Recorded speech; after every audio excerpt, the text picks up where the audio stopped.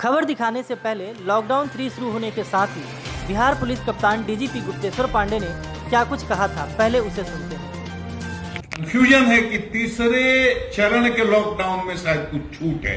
कोई छूट नहीं है, कोई छूट नहीं है। तीसरे चरण का लॉकडाउन भी वैसे ही है जैसे पहले चरण का लॉकडाउन था। आम आदमी के लिए कोई छूट नहीं है।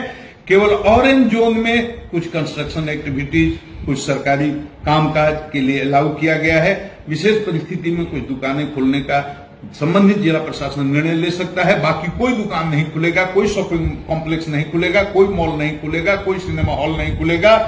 कोई भी नाई की दुकान, सैलून, तंबाकू, पान, गुटखा की दुकान कुछ भी नहीं खुलेगी। स्कूल, कॉलेज, कोचिंग इंस्टीट्यूट सब बंद रहेंगे पहले ही की तरह।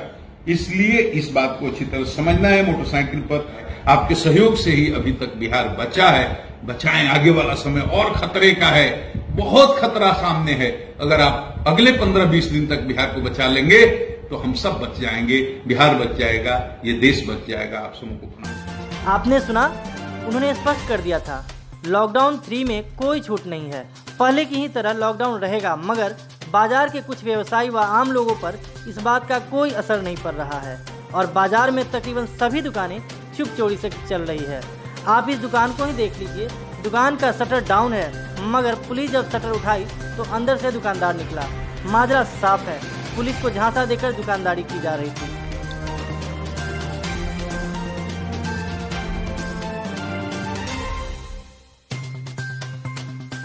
जब बिहार पुलिस हाथ जोड़कर नम्र निवेदन कर रही थी तो बातें समझ नहीं आई। आखिरकार पुलिस सिंघम स्टाइल में समझाना शुरू की, फिर मानो सब कुछ समझ आने लगा। सर लालगंज में अभी जो दुकानें खुल रही हैं उसको लेकर क्या कुछ किया जा रहा है? लॉकडाउन के दौरान। साहब का आदेश है उसको हम लोग पालन करवा रहे हैं कोरोना संक्रमण को लेकर कुछ नियम निर्धारित किए गए हैं। सोमवार मंगलवार बुधवार को इलेक्ट्रॉनिक्स दुकान जो खुल रहा है उस तरह से कुछ सब शेड्यूल है जो उसको तोड़ रहे हैं उल्लंघन कर रहे हैं उनके विरुद्ध हम लोग ऐसा देखा जा रहा है पुलिस के जाते ही लोग दुकान खोल दे रहे हैं और फिर पुलिस के आते हैं फिर शटर गिरा कर अंदर सेलिंग हो रहा है ऐसा कर रहे हैं उनके विरुद्ध हम लोग कार्रवाई भी कर रहे हैं। उनके विरुद्ध कोरोना वायरस जैसी महामारी से बचने के लिए प्रशासन हाथ जोड़ रही है।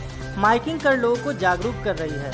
ज़रूरत पड़ने पर सख्ती से भी पेश आ रही है। मगर सवाल यह है कि पुलिस को ऐसे हथकंडे क्यों अपनाने पड़ रहे हैं? क्या कोरोना से बचाव की जिम्मेवारी केवल पुलिस प्रशासन की है?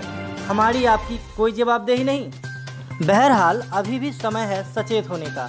हम सब इस महामारी में अपनी अपनी जिम्मेवारियों को बखूबी समझें और सरकार के बताए रास्ते पर चलकर इस महामारी को मात दें ज़िंदगी रही तो फिर मिलेंगे, यानी ज़िंदगी बची तो बाजारें फिर सजेंगी।